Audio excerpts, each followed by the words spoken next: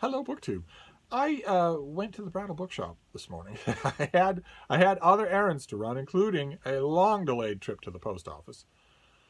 Uh, one of many that I'm going to have to do because I've got books packed up like crazy. Uh, I haven't wanted to do it. I have wanted to do it, but I haven't done it because it's felt like just an egregious risk to go to a post office in the middle of a, of a raging pandemic. Uh, and I, I mentioned that. I went to a post office that I know really well. I know the clerks there really well. They are right there. They have been on the job the whole time. They haven't closed down. And uh, the postal clerk that I was talking to uh, has the full visor on, a plastic screen in front of her. She has a tray that she slides out for everything that you want. So you never hand her anything. She never hands you anything. And uh, when I mentioned that, she said, "Ah, don't be such a baby." We wipe down everything. She showed me her bottle of disinfectant. She said, We wipe down everything every hour. We take more precautions here than you take at home. And she was right. She's absolutely right. She's still at work. She deals with the public all day long, every day. She's still at work. She hasn't been infected. They're taking common sense precautions. I am as safe there as I am at home. So I I wanted to do that. I didn't know that I was going to get a dressing down, but it was well deserved. And we laughed about it. Uh, and that post office, the one that I went to, is right around the corner from the Brattle Bookshop. So I went to the Brattle Bookshop, and I've got a bunch of books to show you that I hope will be keepers. Oh, all of them will be keepers. Uh, for those of you who are new to the channel, obviously, since I am working on, I, I, since every day I look at the 8K Q&A video that I made and see questions filling it up. Obviously, since we're at 8K, uh, there are new people to this channel, so you might not know what I'm talking about. The Brattle is a used bookshop in the heart of downtown Boston. They're very old and they're very, very good. Oh my. They have a third floor that's sort of the rare and antique stuff behind glass or at higher price points. But the first and second floor are just crammed with normal used bookstore books at reasonable prices. Just double stuffed, double stacked on the shelves. Just fantastic. And on top of all that, uh, there's a sale lot right next door.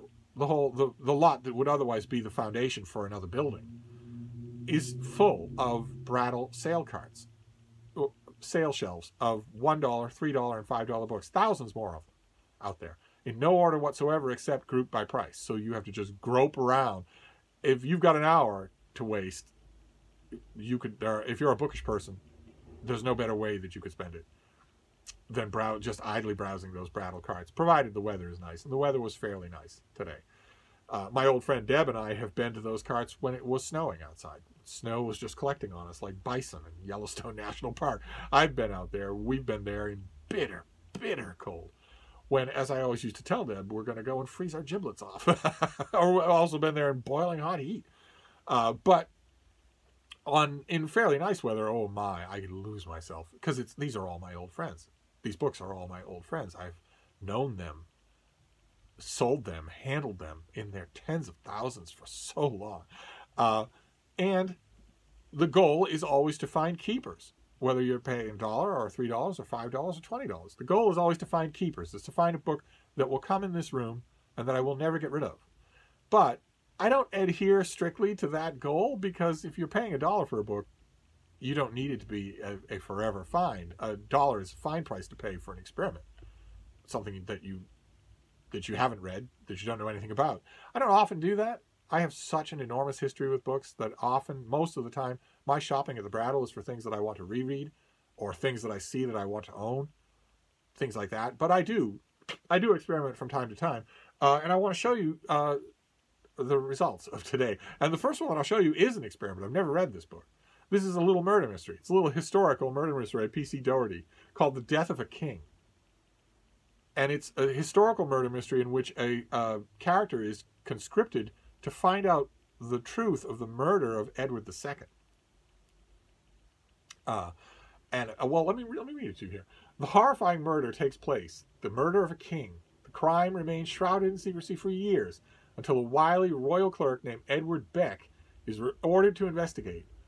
Where he journeys, who he encounters, and what he discovers is a rich and thrilling tale of intrigue. It is a tale that takes you to Berkeley Castle in the year 1344 to the court of King Edward III and into the desperate mind of Edward Beck. Who conspired to kill King Edward II? Why did the dead king's son wait 17 years to look into the case? Why does the dreadful Queen Isabella keep her late husband's bloody heart encased in glass? Why was Beck, of all people, chosen to uncover these ugly secrets? I'm all for it. Absolutely. I saw this and thought, yeah, absolutely. I, I that's fantastic. I love, uh, you know, little paperback murder mysteries anyway. And a while ago, a year ago, the Brattle got a huge.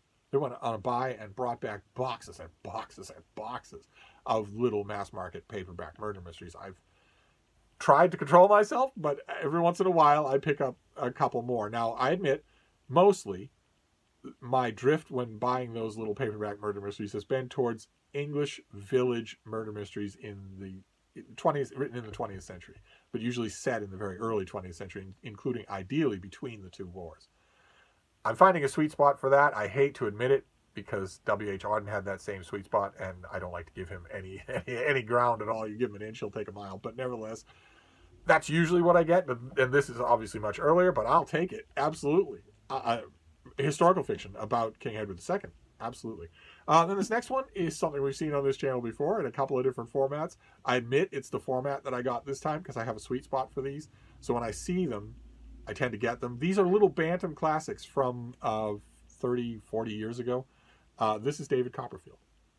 I got a little David Copperfield, which I put. I have a shelf right up there uh, that is only these little Bantam classics of a particular type and a particular time period. I can I can spot them in a minute, but I don't know what distinguishes them, except that what I'm probably talking about here is a particular cover design. Probably, if I were to dig into the history of Bantam Doubleday Dell, I would be able to figure out that it was a particular company that designed the covers and the, the books, the look of these things, and that that's what I'm that I'm responding to. That didn't exist before that company was hired and, and changed once they left. But one way or another, I'll add David Copperfield to that list. Uh, then we have a debut novel, tremendously effective thing. I've read it uh, twice now. I read it when it first came out. I read it, I reread it. Uh, but I, it was a dollar. I'm perfectly willing to give it another try. This is Paul Watkins, and this is Night Over Day Over Night. Uh, another historical novel, this time about a, a, a rowdy and discontented teenage boy uh, who decides in the waning years, he's a German, and he decides in the waning years of World War II that for the hell of it, or just to spice up his life, he will join the Wehrmacht when the war is clearly over, unless you are one of the tiny handful of the German population that actually believed the Nazi minister of propaganda saying that they were winning on the front. Of course, you've cut off all communication with the outside world, so most of the people who hear that kind of mythology might be tempted to believe it. They certainly might not have anything to contradict it. There were plenty of Germans who knew, though. Word was smuggled into the country in plenty of different ways to let to let ordinary Germans know that there is no future in the Nazi armed services. That that, that the Allies are closing in on literally all sides. Uh, but what a what a bleak and powerful novel this is, and so eloquent, and also a tremendously convincing portrait of a, of the the mind and the worldview of of a confused teenage boy. Not that there's any other kind.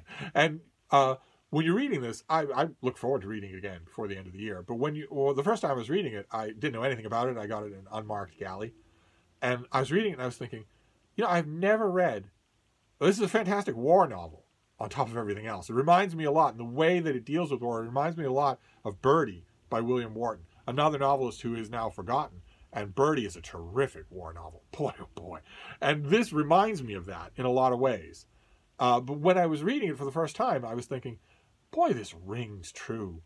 It really does. The, the main character, especially, rings true. And it was only later that I discovered that Paul Watkins wrote this when he himself was a teenage boy, so, when he was like 16 or 17. So it, maybe it makes sense. but, but I've gone on to uh, to read a lot of his other novels, maybe all of them, and they're all really, really good. But this debut is standout. I, I saw it, and it was dirt cheap, cheap enough to grab, so I did. Same thing with the next one. I've read this many times.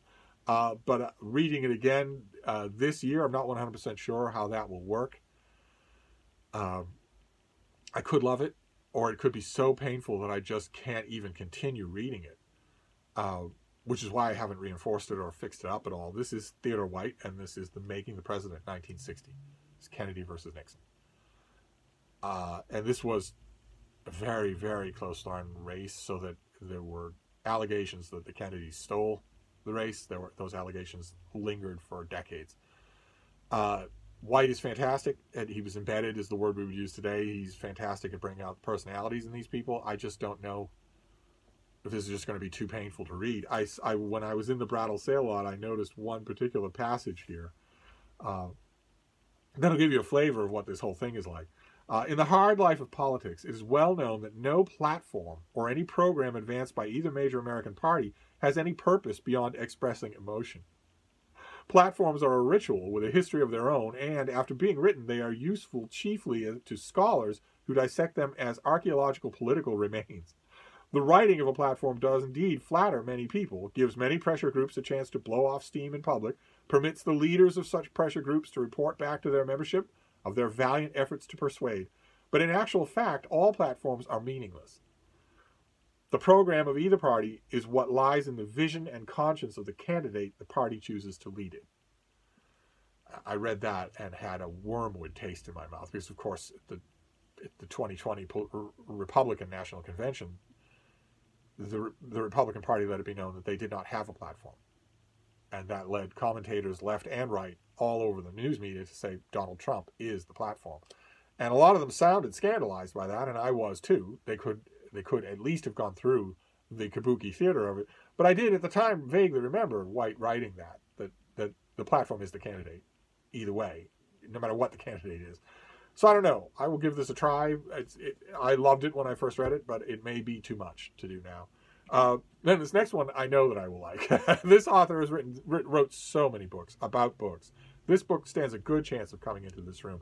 This is by Lawrence Clark Powell, and it is Bookman's Progress a series of speeches, essays, and, and uh, addresses that he gave on all kinds of bookish subjects, but especially libraries, because he was a fervent advocate of libraries. He was the uh, uh, chief librarian, or the head of the library science school at the University of California at uh, Los Angeles, I think. Uh, he and he was he was an academic and a professional librarian for his whole career, having been saved, uh, as he puts it, because he had a whole bunch of skills and a degree in a totally a, a other field. When a passionate librarian, a, a woman approached him and made her pitch that libraries need you, that the world of libraries needs you, needs people like you. So he took an enormous chance. He put all of the directions of his life on hold uh, raised a little money that he really didn't have and went and got a library science degree and event, eventually became uh, a working librarian, an antiquarian specialist, a head librarian, library director, all that sort of thing, and wrote the whole time. Really good essays. There's one there's one in particular in here that I, I couldn't help but laugh when I when I glanced at the table of contents because I've seen this book before. It was on the shelf at a library that I used to they used to go to all the time. I don't think I ever read the whole of it. But there's one essay in here that I did read called "What's Wrong with Librarians?" a question that I've been asking my whole life. and that essay, if I remember correctly, is really really good. Where where uh, Powell writes that, as far as he's concerned, the two qualities that every librarian should have are bookishness and amiability. The, the idea that a librarian is, is uh, you know, mainly interested in dusting and keeping things quiet, or a disciplinarian mainly interested in cracking down on the rules, is antithetical to the true work of a librarian. And he, he not only saw that, but promulgated that. In every big and little library, we are asked to give an address or a speech, many of which are included in this book he advocated that kind of a librarian that you're not sitting behind a desk stamping things and telling people to be quiet. You're greeting them at the door. If you're a small library you're saying what are you interested in? Can i help you? I this is my library. I know it i know it inside and out. Let me help put it to work for you. That, that sort of thing. A much simpler more straightforward thing. That attitude owes as much to clark or to powell as it does to anybody. Um, and there were a lot of writers that that that were felt themselves very grateful to L.C. Powell uh, for his advocacy of this great institution. So these these are going to be great. There's going to be a lot in here that I haven't read, uh, so that's wonderful. Uh, then this next one, this next one, this next one I haven't I haven't read in forever. It also was on the shelf of that library that I'm talking about, and I did pull it down and read it when I should have been researching something else. And it's a figure, believe it or not, only on this channel. It's a figure who's come up before a few times. this is Viscount Grey. Grey of Fallodon is how he was known. Who was a, a British Foreign Secretary for like 20 years. One of, if not the longest tenure in that job that any one person has ever had at the turn of the, at the beginning of the 20th century. Uh, and he wrote uh, 25 years. He wrote a, a two volume memoir of his life that is really, really good. And I have it in the biography shelf. We've seen it uh, on this channel. And he also wrote Fallodon Papers, just a collection of miscellaneous stuff, including speeches and addresses that he would give to Rotary clubs or women's groups or book clubs or that sort of thing, including quite a bit of bookish stuff. Uh, and he also wrote a fishing book about fly fishing because he had he had estates and he used to fly fish on his estates and the estates of his friends. But he also wrote something else, and I I can't believe I found it at the Brattle. It's called The Charm of Birds, and it's just this lovely little book uh, with uh, woodcuts by Robert Gibbings. Let me show you one of these. The woodcuts are absolutely lovely. Uh, there there are some of them head the each chapter, and then some of them have their own page. That is quite nice. And this is just this is just uh, Lord Grey writing about birds. Uh, go, he goes through a year in this book and and writes about the birds uh, at Fallodon and elsewhere, what they're like, what it's like to listen to them, uh, what their behavior can be observed to be. Grey is famous. Uh, most famous, I imagine, today. He's not very famous at all, but he, he's most famous at all uh, today because at, on the eve of, of uh, World War of the World War, he was the one who had that famous quote: uh, "The lights are going out all over Europe, and we don't know when they'll be lit again. They may not be lit again in our lifetime." That that he captured the the feeling of the moment by saying that, and uh, put a long stamp on on his government for the time that he was in office and a long after that. I was also friends with Theodore Roosevelt, of course, and they, they spent time out of doors. I owning a copy of this book never occurred to me. It just it's just a, a testament to the wonder of the Brattle Bookshop that something like this will show up. Well, will show up uh, there for a dollar. That you, never know. This is uh, this is the 1938 edition, right? This is uh, this is not a reprint. This thing was never reprinted. 1927. Yeah, this is it's just out there in the sale lot, I, and uh, that's fantastic to me. Same thing with this next one. This next one I've had I had it in a mass market uh, a long, long time ago. Really, really liked it and I knew that I would encounter it again someday. It's World War II history, but I, I'll take that any day. This is Imperial Tragedy by Thomas Coffey, all about the rise, the fall of uh, the Japanese Empire in World War II. Coffey was a veteran newspaperman, so once again, he knows how to tell a story. He knows what to do. This is the uh, the the Pacific Theater and the Japanese counterpart to The Rise and Fall of the Third Reich by William Shirer, another journalist. And every bit is good. Boy, oh boy. Just this is just a terrific book. Very happy to see it for a dollar for, for our hardcover. It's a little, there's a little bit of wearing on top there, but I will uh, I will see what, what I can do about that, and may even reread this by the end of the year. We're gonna we're approaching a period where I'm going to be doing a lot more rereading than new book reading in 2020. So I, I don't know that, that Imperial Tragedy is a keeper in the sense of coming into this room, but it's definitely a keeper in the sense of going with my other World War II biographies. Uh, but in terms of a keeper coming in this room, well, I knew that I would find it. I didn't know that it would be so soon. We saw this on our Daily Penguin, Natural History of Selborne by Gilbert White. And at the time I said there was an illustrated version out there that I really wanted. Well, here you go. this is this is done in collaboration with the Gilbert White Museum and this is full of uh, his journals. His there's a bat. this is full of of his letters and his disquisitions to other naturalists, but it's also full of uh, color depictions done by those other naturalists. So contemporary drawings of a lot of the creatures that are mentioned on and off in the course of these these letters and ruminations. So I'm uh, the reason I that I grabbed this and the reason I mentioned it is because I showed you my Penguin Classic. I have just an ordinary Penguin Classic paperback of this, and I remember saying uh, the one of the uses that I like to put my Penguin Classics to is as backups. So I have a wall of the of the basics, but the basics on that wall that I truly love, I'm also going to want a really nice reading edition of them, something that's a little bit more uh, elaborate than a Penguin Classic. Have that with a bunch of things. Have that with a, with a bunch of uh, from Homer all to Seven Pillars of Wisdom to uh, uh, Gravity's Rainbow to a bunch of other things. Uh, the Education of Henry Adams, you name it. Most of the books in this room on the non-Penguin walls are also represented on the Penguin wall. And here's this is another example. This is certainly coming in here, but only after a sizable rereading. uh, and then we have a, a, couple of biographies, of course. You can't have a trip to the Brattle without biographies. This uh, this first one is uh, something that I read and reviewed when it came out in 2019. It's Kate Hubbard's biography of Bess of Hardwick. Uh, that ranges further into it's not just a biography of Bess of Hardwick, as no biography of Bess of Hardwick is. It's also uh, an inquiry into uh, the world of Elizabethan England and the the world reflected in Bess's life.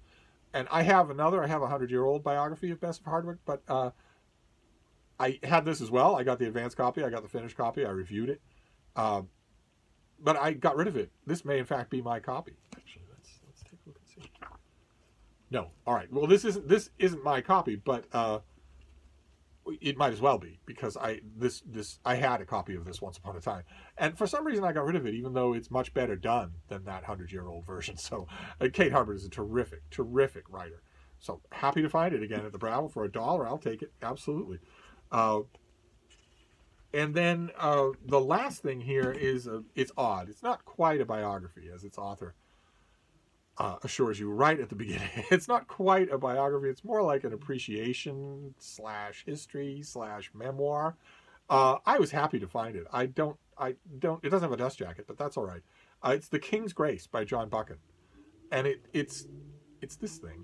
It's got dates on the bottom there, 1910 to 1935, and it is uh, a study in its own way of King George V. And I I don't think I've ever read this. Uh, and I, I, was fascinated right away. Buchan's a great writer. He's terrific to read on the page. Uh, and I have a little bit of disdain for George V. I think he's a kind of silly king. I mean, he's he doesn't strike a very noble figure. I don't understand why any British monarch would ever take George as a name. I really don't. Uh, but he did, and so did his successor, and they were both in world wars. Uh, but as a weird kind of meditation on the history of these years, by this author. I don't think I've ever read this. I've read a lot of Buchan. So for a dollar, I'll gladly, I'll gladly experiment. So there you have it. We have a, a, few things that I've never read that I want to read, a few things that I have read many times, and I like the editions or whatever. We have The King's Grace. Uh, we have Devices and Desires, a biography of uh, Bess of Hardwick, of Hardwick Hall. We have The Natural History of Selborne, only in a nice illustrated version that'll come into this room. We have Imperial Tragedy, about uh, the the uh, Empire of Japan during World War II. We have The Charm of Birds by Grey of Fallodon, which means that I have now a large number of Fallodon books. so, uh, then we have uh, Bookman's Progress uh, by an indefatigable library fan. We have The Making of the President, 1960 by Theodore White. We have Day Over A Night Over Day Over Night, uh, Paul Watkins' stunning debut novel. Uh, we have David Copperfield by some guy named Charles Dickens. Uh, and finally, we have the King, the Death of the King by P.C. Doherty, about what really killed King Edward II, and uh, and not the mythology that sprang up around his death immediately afterwards, and that is largely what's known today. Very interesting stuff. A nice mix here of things that I have read and things that I haven't read, things that I haven't read in a long time and want to reread, that sort of thing, uh, which will stand me in good stead in December. So it was a good trip to the Brattle. I don't know I probably won't go back to the Brattle or that post office again for another week, but when I do, you'll be the first to know. so I'll wrap this up for now, uh, but I will see you soon. Thank you, BookTube.